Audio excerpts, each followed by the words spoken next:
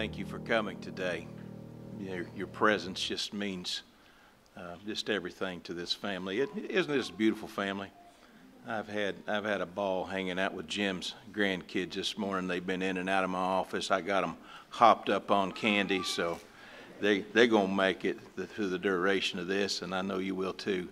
I also want to say thank you and bless you uh, for those of you who are watching online uh, the service. I know there's some people all the way across the big pond watching watching this today, and we know you're grieving right along with all of us today. If I could say one thing that you could get a hold of right now um, to this family, I promise you, I assure you, that the Lord is with you today. He is near.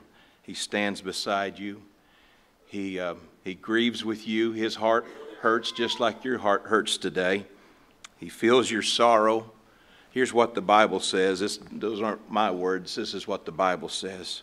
For we have not an high priest which cannot be touched with the feeling of our infirmities, but was in all points tempted like as we are, yet without sin. So let us therefore come boldly under the throne of grace that we may obtain mercy and find grace to help in time of need.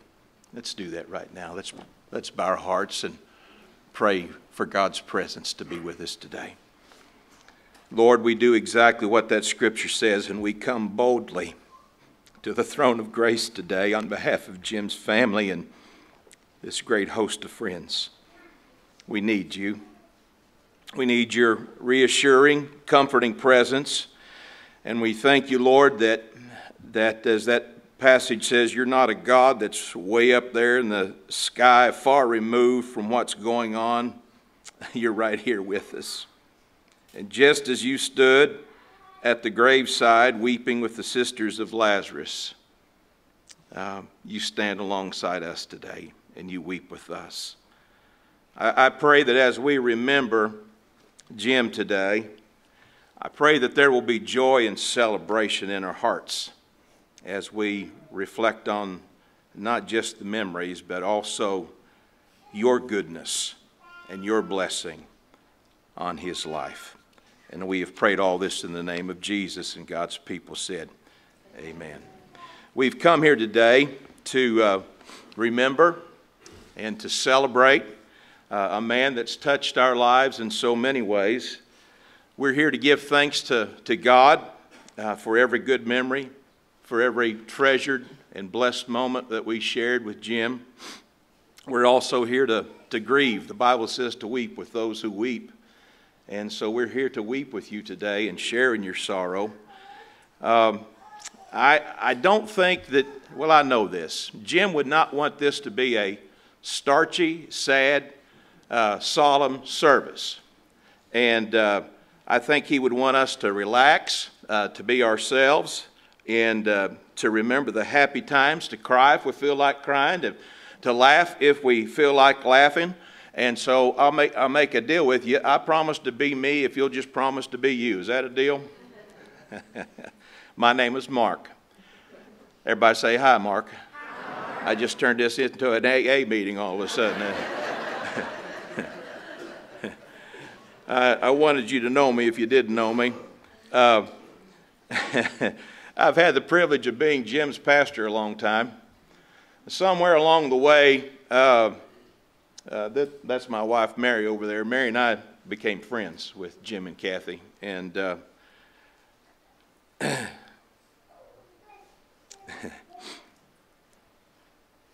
in, his, in his book, have you read his book? The price just went up on these, by the way.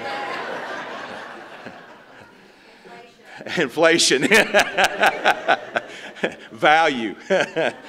uh, this is a treasure, and I'm glad he wrote this. What I, I wish, I wish anything I'd have, of course, my, my grandpas couldn't read or write, so that wouldn't have been possible, but uh, I'm sorry, I'm, I'm from West Virginia. I don't want to offend anybody, but. Uh,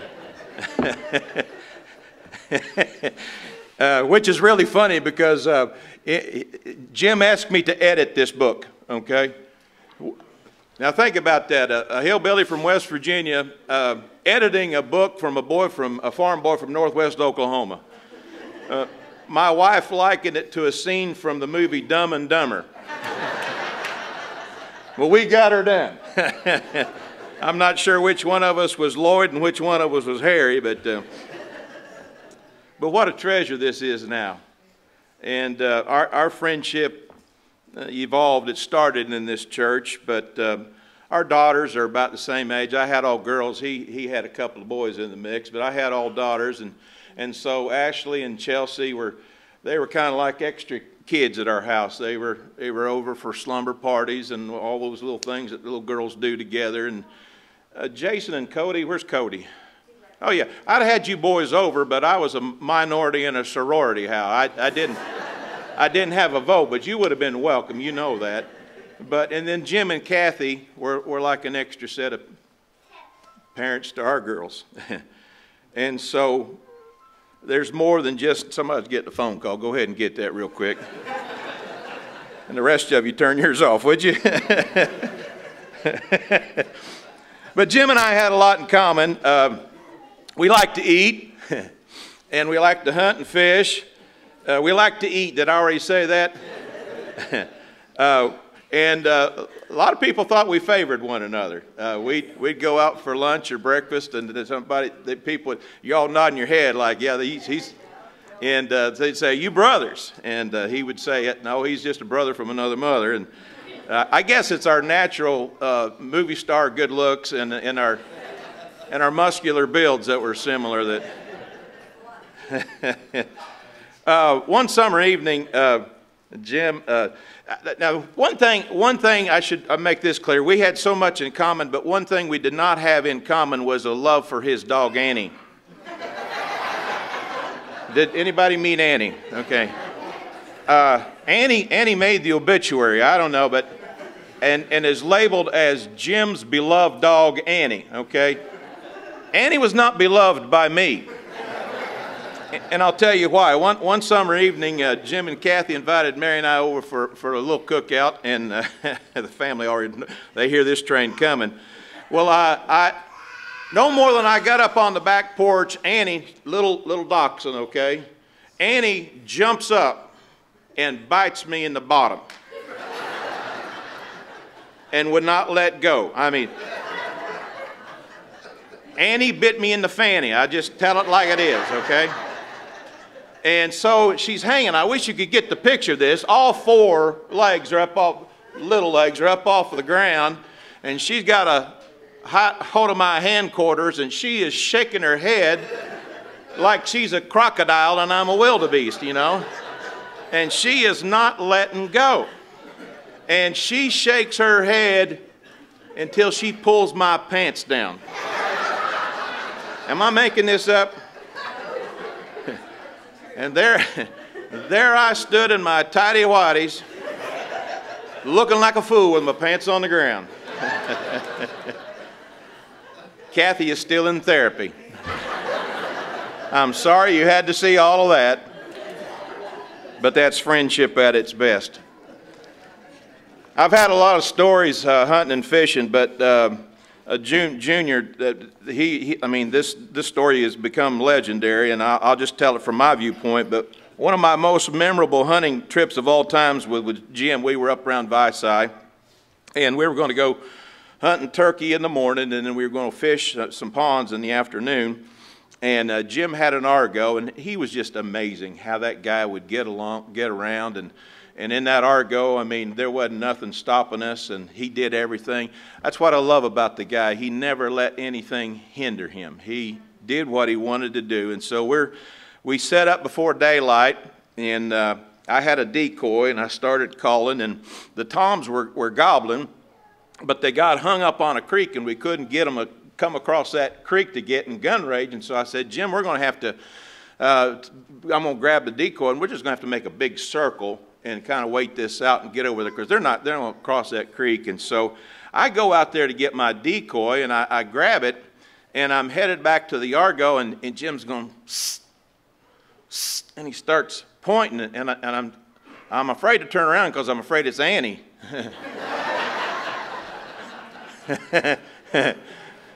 I have PTSD from that little dog. and he's going, And so I, I turn around, and, a, and this is Jake, okay? If you're not familiar with Jake is like a teenage uh, boy turkey, okay? And he's looking for love, okay? And, and he's running, running after this decoy that I've picked up. I mean, I, this is his last prospect for love. And, and Jim is just cracking up, and all of a sudden, this Jake starts flogging my de- I, it's in my hand. And this, and this Jake is flogging this decoy, and and flogging me, and I, I literally had to kick this. I've never seen anything like it in my life. I had to kick it off, and when I look back, Jim had fallen out of the Argo laughing. and so now I got to get him loaded back up in the Argo. So we make a big circle and we, we set up over this, this wheat field. And I, I set up again, we back that Argo up into to, to a line of cedar trees. And we settle down, and I start calling again. I don't know. There's this this decoy I had must have been something else because all of a sudden this bobcat starts slipping up on this decoy, looking for a light snack. And Jim says, "I'm going to shoot it. I'm going to shoot it." I said, "Well, pop him." And so Jim takes aim and shoots right underneath this bobcat, and the bobcat jumps straight up in the air. And when it lands, it looks right at us in the Argo like which one of you boys just shot at me? Well, I pointed at Jim.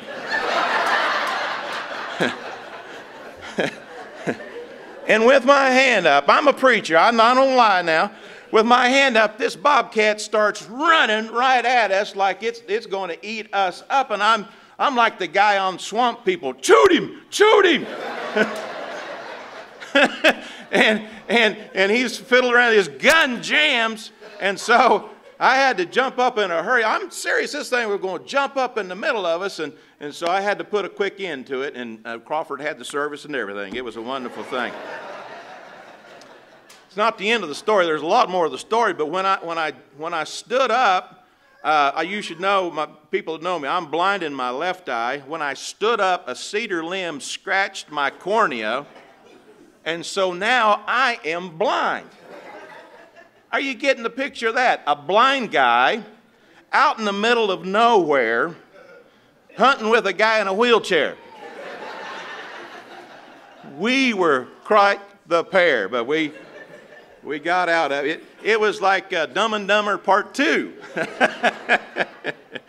There's so much more that I, to the story that I could share, but I, I better cut this off. Uh, I tell my people my sermons are like bologna. I can slice them off anywhere I want to. So uh, but uh, I want, we're going to hear some stories from you in a little bit. But, but you know, sometimes preachers struggle to find the right words to say at a funeral. It's not the case today. I'm, I'm trying to figure out what not to say, what to leave out. It's easy for me to talk about Jim. Mary and I love Jim. We love this family. He was my friend. But in all honesty, nothing really needs to be said today because his life said everything. His life said it all.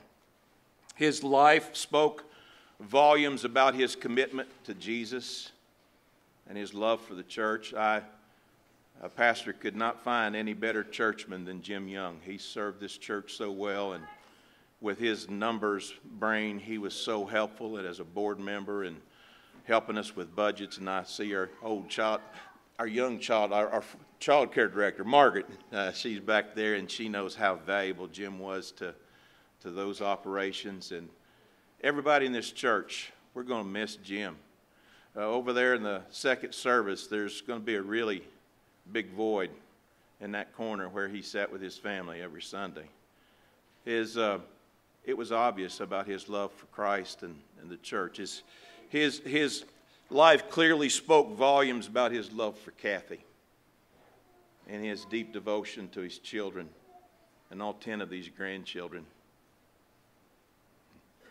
It was uh, one of the most beautiful scenes I've witnessed as a pastor in Jim's last moments to see Kathy and the girls on one side of his bed and the boys on the other side of the bed holding his hand speaking words of comfort to him as they watched their daddy and their husband take his last breath. There was, there was a special, it was just a sacred moment.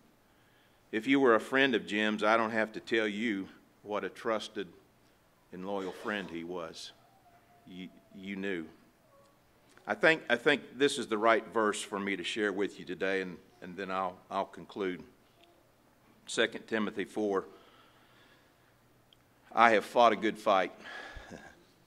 Paul said to young Timothy, I've fought a good fight. Jim fought like everything for his family. He fought the good fight. I have finished my course. I have kept the faith. And I know for a fact that Jim kept the faith right to the end. Henceforth, here's the wonderful news. Henceforth, there is laid up for Jim a crown of righteousness. Amen, church? Jim fought a good fight, and, and I want you to know he won that fight. Some of you might be scratching your head and saying, no, wait a minute, he, he died. He won. He won. We lost. we lost a good friend. We lost a good church member. Kathy lost a good husband. These kids lost a good daddy. The grandchildren lost. Brothers and sisters. So, so many of us lost, but I'm here to declare on God's word today that Jim won. The Apostle Paul said in another time, For me to live is Christ, but to die is gain. it's a win win situation.